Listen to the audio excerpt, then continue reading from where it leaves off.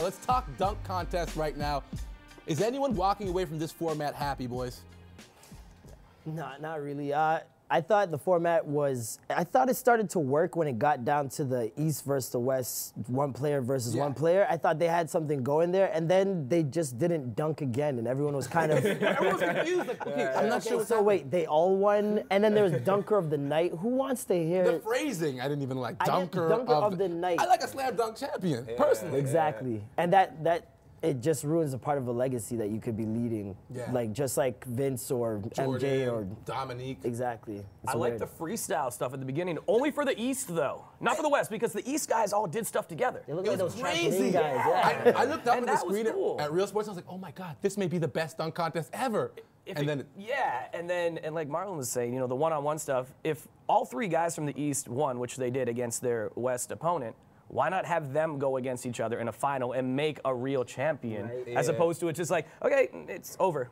Even let us text. Let us text. I, I, yeah, I think that they, they demanded that because it takes a little while to get the results back. But JD, what were your thoughts? I think it was like unanimous. I think everyone kind of feel the same way. They wanted to see that last like round of the guys going going head to head. You know what I mean? I think for me, I think that was the chance for Silver, like the commissioner. That was his chance to really, like, he could have pulled the last minute that would have won over everyone. You know what I mean? If he came and was like, listen, the dunk off was whack. I'm giving you one more round. You know, what I'm saying? I would have been like, yo, he's a G, man. Now, one of the weird things is walking away from it. A lot of the dunkers were happy with the format, so that's kind of weird that even though the fans kind of weren't really happy with the way it went down, the dunkers are completely comfortable with it. So we may see it return next year. One thing we did see, actually, we got we got to get some props to John Wall. No, you're not giving no props to any of those dunks. about that Ross, dunk, man? What about Ross? Harris did his thing. Drake was there, definitely gave him that buzz. But that John Wall dunk where he caught it between Yeah, the legs, that was That was insane. crazy. I That- still think Paul George's dunk was way more athletic.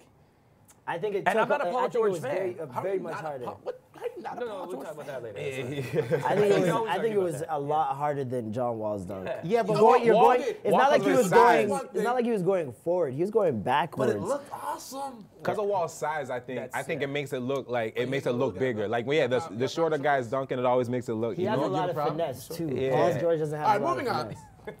Something else I want to bring up: the D League dunkers. Did you guys see this dunk contest, Marlon? I know you watched. Yes. So, for you guys who don't know, we're gonna run the footage, but we've got people in the rafters, the 200 levels, throwing balls out of the sky. Literally, the ball's coming out like you can't even see it. God threw it out there, and, and the timing was great. So, my question to you is: with such an awesome D League dunk contest, would you guys ever be open to, let's say, opening up the field for the NBA dunk, dunk contest? Invite D League players, or maybe a few years ago, like we saw the Sprite dunkers do a great job. Maybe some of those guys in there. Yes or no?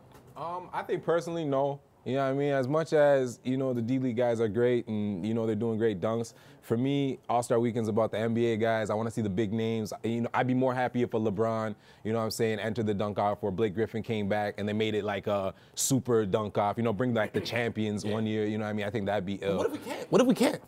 Where do we go? We're doomed. You don't just take it away at that point. I mean, you can bring in some guys that are just showcase dunkers, but it's no longer the NBA All Star Yeah. Weekend when you start bringing in the D League guys are in the D League for a reason, and they have everything to prove, which is why you're going to see them doing these amazing. Uh, almost like life risking moves or like you know career risking moves you Yeah, should they- say they're- they're they're real- risking their do this for careers they are but these yeah, but the NBA players they're not doing that right because they have these major contracts which is why you're not seeing LeBron and Blake in there unfortunately